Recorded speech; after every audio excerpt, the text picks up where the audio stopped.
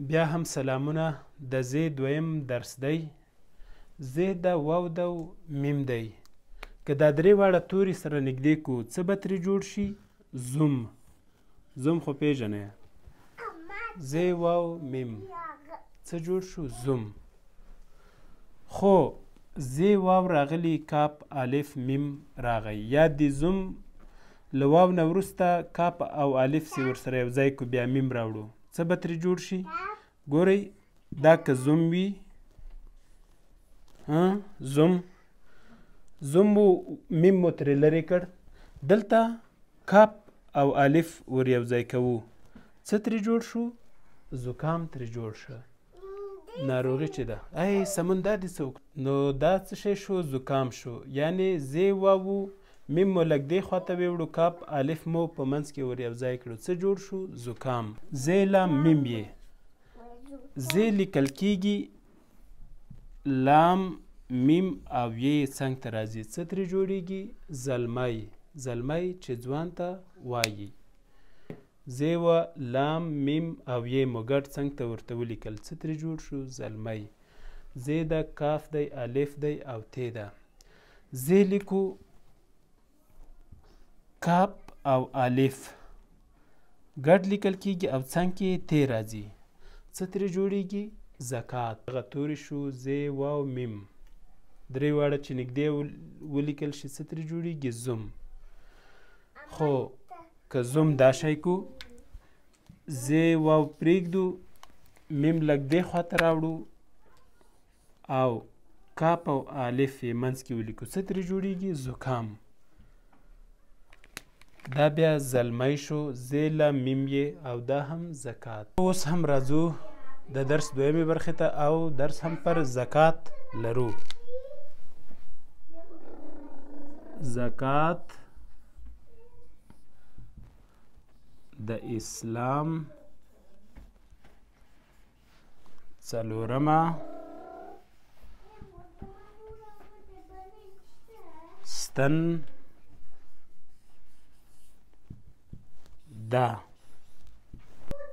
شتمن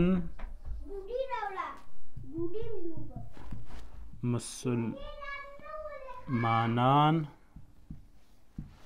په کال کې یو ځل زکات ور کوي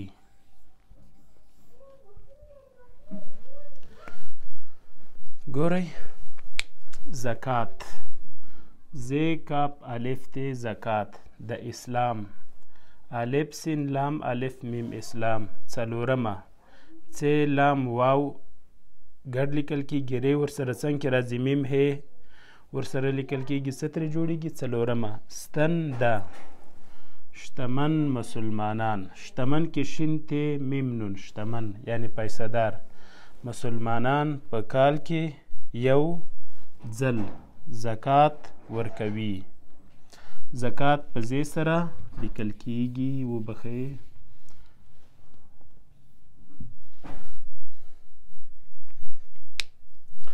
زکات د اسلام څلورمه ستن ده شتمن مسلمانان په کال کې یو ځل زکات ور کوي زکات، زکات د اسلام څلورمه ستن ده.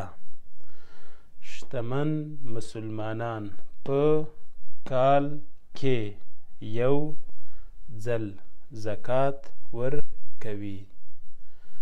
دا ستاسو درس دی او څو ځلې به یې له ځان سره لیکئ وروسته یې له یاده ولیکئ دویمه برخه ده ز، الف، نون، ګاپ، واو، ز لیکل کېږي، څنګ ته یې الف راځي، نون، ګاپ، واو ګډ ورسره لیکل کېږي، څه ترې جوړېږي؟ زانګو. ګورئ، ز به ولیکئ، څنګ ته به یې الف ولیکئ، نون، ګاپ، واو ګډ د دوی څنګ ته لیکل کېږي، څه ترې جوړ شو؟ زانګو.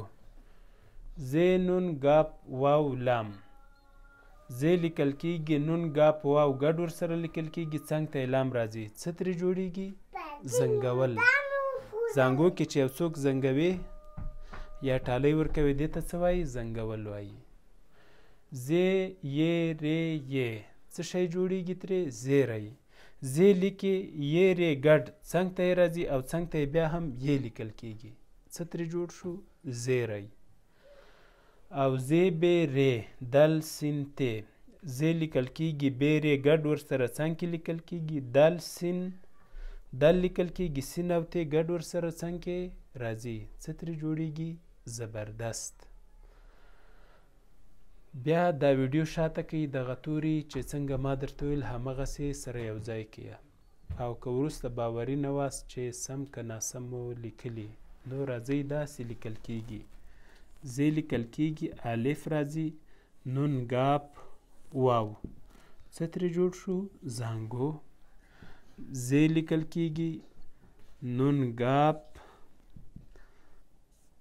ګاپ واو لام څه ترې جوړیږي زنګول زې لیکل کیږي یې رې یې څنګ ته ورسره راځي څه ترې جوړیږي زیری زبردست کې بیا زې بې رې دال سين ت څه شی شو زبردست دا د نن ورځې درس و هیله ده زده کړی مو وي پښتو زده کړه فیسبوک پاڼه او پښتو لرنینګ یوټیوب چینل در سره خوښ او زنګوله کړئ الله مو مل شه